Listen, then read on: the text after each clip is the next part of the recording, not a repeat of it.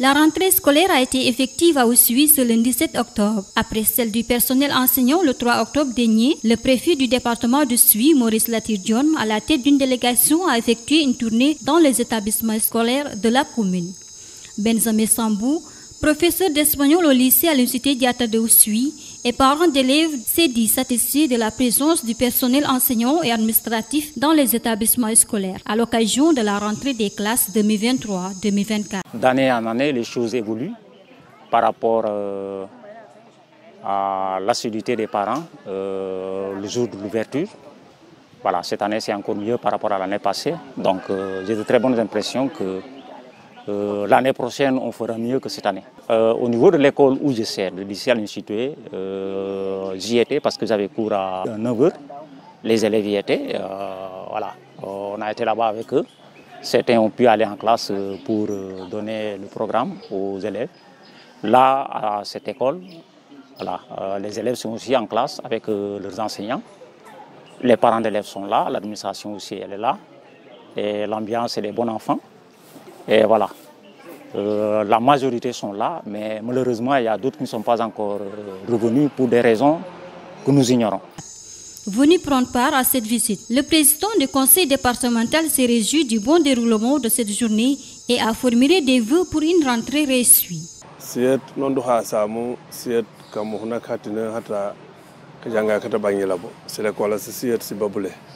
sata élémentaire sata CM sata lycée jomul kalaw min emite kan emite te ka sumay ka sumay boole banyela bo bamul bu jo l'école mais ka sumay fof pour olola jabu kalimo mais fof ilaw les parents d'élèves enil kukat banyela min kubel. Parce que baje min ye simit gouvernement ku yito yito min kon ona ka hatinero hata l'école na yo moy babul l'école bonne commencer donc jijo jomi ñeede si l'école sakke sata commune de sakke si baba ko enseignant di ko élève mais sakke fo bañila bu ko fullot dene moy heb les parents d'élèves en il ko kat bañila min ko bil ko commencer l'école bata e bobu bobul la ñene law ko suma ko de département ta hosoy de l'école yano sen min bañila bu lo bu l'école do ko baj si si si examen donc il ko passé. Donc comme non mon ko jow en classe supérieure. Donc haw mo le muy law pour département ta hosoy jina bo mo siyat njedi préfet ata département. Di le maire ata commune ta hosoy di lief. Anahana ata l'école ta ma de département. Di le commandant ata la gendarmerie. Di le président des parents d'élèves. Donc jo jo fait. Jo ji jok dis l'école. Wa À l'issue de cette tournée, l'autorité administrative s'est félicitée du dispositif mis en place par les acteurs pour une bonne rentrée scolaire malgré quelques manquements soulignés dans certains établissements scolaires. Nous venons de boucler une tournée, la traditionnelle tournée que nous effectuons le jour de la rentrée des classes, en rapport avec tous les acteurs et les collaborateurs de l'école, les élus, notamment le président du conseil et le maire, mais aussi l'IF, ses collaborateurs, mais aussi les parents d'élèves justement pour aller nous enquérir de la situation du démarrage de l'année scolaire dans les établissements. Et à l'issue de cette tournée que nous avons effectuée dans quatre ou cinq établissements de la commune, globalement c'est un sentiment de satisfaction qui nous, anime. D'abord par rapport au cadre des écoles qui ont été visitées, elles ont été bien apprêtées et sont disposées à accueillir les, les élèves, même si pour certains il y a encore un peu d'effort à, à faire. Mais globalement, le, cadre, l'environnement se prête à accueillir les enfants pour le démarrage des, enseignements-apprentissages. L'autre aspect, c'est la présence des enseignants. Là également, on est satisfait globalement parce qu'ils sont là, les équipes enseignantes sont en, place.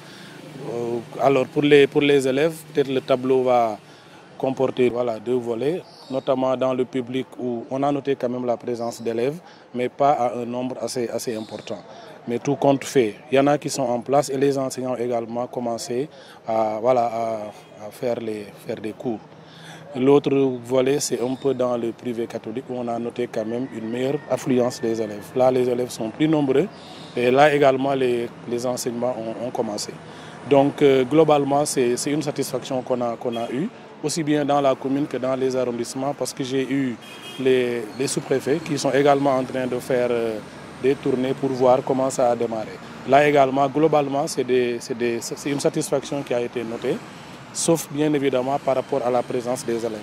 Et là, je voudrais saisir l'opportunité que votre micro m'offre pour encore renouveler l'appel à l'endroit des, des, parents. Voilà, les équipes enseignantes font des efforts pour être présents le jour de la rentrée. La communauté éducative dans son ensemble a fait des efforts pour apprêter les établissements. Mais si l'on constate l'absence de beaucoup d'élèves, c'est justement parce que certains parents n'ont pas véritablement joué leur rôle.